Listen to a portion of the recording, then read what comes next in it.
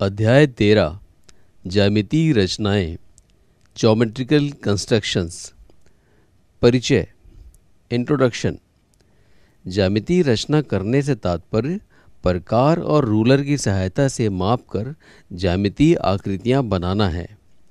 ज्यामितीय रचना के द्वारा हम ज्यामिति की कई अवधारणाओं, संबंधों व उपपत्तियों को अनुभव कर सकते हैं और उनके बारे में सोच सकते हैं। हम उन अवधारणाओं का उपयोग कर ऐसी ज्यामितीय रचनाएँ करेंगे जो हमने पढ़ी हैं।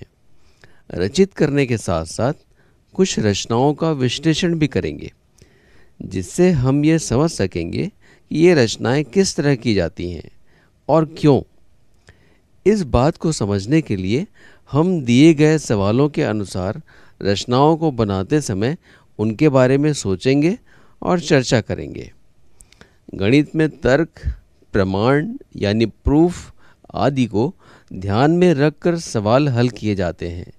सवाल हल करना और यह देखना कि क्या कोई सवाल एक से ज़्यादा तरीके से हल किया जा सकता है। कौन सा तरीका ज़्यादा उपयुक्त और आसान है? ऐसी बातें सोचना महत्वपूर्ण है। यह सवाल करना व सोचना हमारी तार्किक और सृजनात्मक क्षमता का विकास करता है। आइए कुछ ज्यामितीय रचनाएँ करते हैं। अभी तक आपने स्केल और चांदे की सहायता से निश्चित माप के रेखाखंड और कोण बनाए हैं। इस अध्याय में हम प्रकार और रूलर का उपयोग करते हुए रचना करेंगे। रूलर का रचना में उपयोग।